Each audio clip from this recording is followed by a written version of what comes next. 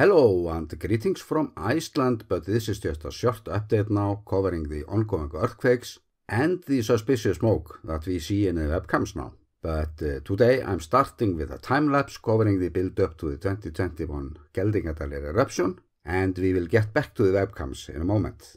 And I'm hoping that the armchair experts might have fun with the time-lapse because uh, they can compare it to the situation as we see it now but what we notice right away is how the earthquakes faded out well before the eruption started, and when it started, it could not be felt through any instruments. That could mean softer rocks to break through, or the magma found an older path for the rest of the way. And it is actually hard to compare this uh, situation to what we see today due to how widespread the earthquakes are now. For a long time we saw exactly the same pattern as in the 2021 eruption or magma intrusion moving from Mount Keilir to Geldingadalir. But on the later stages now, it is very safe to say that things are not as back then. So let's take a look at the last week earthquakes, but on this first photo we see them all, but I will break this image up to a time lapse as we move on. But first a little overview. We start in Grindavik and I've always been worried about that town in the middle of all this. But we have to know that the Geldingadalir adventure started under Mount Thorbjörn just by the town. The earthquakes there were bad and it was simply hard to be in a town before the eruption. But uh, that's been different now. Way less uh, earthquakes this time and overall this uh, new eruption we expect uh, any day now or any moment isn't coming in as aggressive as the first one. But the earthquakes in Grindavik are rather widespread this time. But still we see them again line up beside the old and nasty fissure there just north of town so I'm uh, still keeping an eye on it, even if it's an unlikely place for an eruption this time. But I'm moving to Geldingadalur now. First we have the old danger zone between Mount Keilir and Geldingadalur. It is nothing going on there now. The earthquakes have already done their job.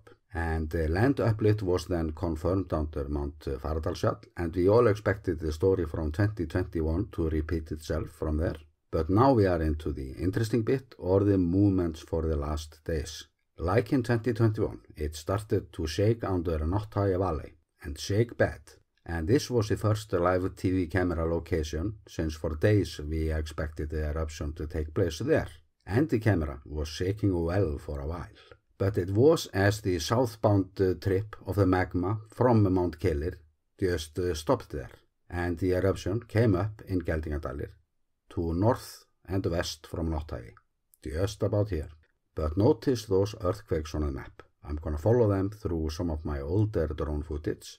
First we have the most active and the last active crater, and as we turn around from it, we fly directly over the first earthquake zone. Just about where the lava came flowing down the hill for a while, and very close to the place where we see the smoke today. And as we move further down and fly over this small mountain, where we have also had some earthquakes, we can see down to a place called Notthaga Kriki. It looks like an old lava pond from here, and I mentioned it in an older video when the earthquakes uh, moved down there. Since uh, from there everything is open to west where we have the fishery village uh, Grindavik, the Blue Lagoon and the power plant beside the lagoon. And the barrier up there tells its uh, own story plus the plans that have already been made to make barriers down there. So the ongoing story is all about the location of the upcoming eruption. And in my last video, the earthquakes were in the Notthaga Kriki, and since then they have moved uh, to southwest. And uh, when I move the drone further south and look west, we can see the location of the earthquakes now just behind the car park for tourists. And this shows you very well how sensitive this uh, situation is in fact. It can be a matter of only few meters where the eruption comes up and those few meters will determine whether the lava will cause damage or not this time. So when I noticed this new earthquake location, I started to go looking for old craters around there to see if anything had happened there before. And yet again, I ran into a whole lot of troubles, but it's just so hard to see what lava field comes from where. They overlap each other all the time, but this peninsula is just one big chunk of lava. But uh, let's continue the sightseeing and I'm positioning myself around the car park now and uh, looking up to the mountain to the left. But uh, let's try to ignore the sheep now. I'm just using some of my older photos. But we are looking at a tough mountain, just one of those uh, many small mountains around uh, formed under glacier during the last ice age. But in this case, it's believed that the mountain was formed uh, during uh, two ice age periods. And uh, just for fun, I'm going to show you the other side of this same mountain or how it looks from the fishery village Grindavik. The ocean corrosion has made a sort of cross section where it's possible to see a basalt column, but this was shot during the 2021 eruption with the smoke from Geldingadalir in the background. So my point is also that when I speak about uh, where an eruption could take place, it's perhaps easier to ask where not on this burned peninsula. And if it happened once, it can happen again, as we often say around here. But here we have another time lapse covering the last 10 days. And the first frame shows you the leftover of the Christmas earthquakes. The X is where the old crater is, and the car park I just mentioned and the mountain are here. And this is how the earthquake map looks when I let the earthquakes accumulate on the screen or spreading around from the epicenter. And then we have this last frame showing you the last 48 hours or so, giving you a better idea about where we are right now. And we would for sure like to see the earthquake swarm move away from Grindavik. But then this doesn't have to mean anything, of course. I'm just trying to put the earthquake swarm into another perspective through the landscape around or where Mother Earth is knocking at our door. The magma under there could just as well solidify and uh, game over, but I seriously doubt it and uh, even if it would, the overall situation is simply that uh, we have entered this whole new chapter in the history of Iceland and there will be good and bad periods for the coming decades. But uh, let's move to the uh, situation in Nátthagi now. Where there is smoke, there is usually fire. This uh, location doesn't surprise me. It's more or less by the book that our geologist started to write a year ago. Icelandic news agencies are saying that this could be steam, since it's very cold now up there, and that could of course be right.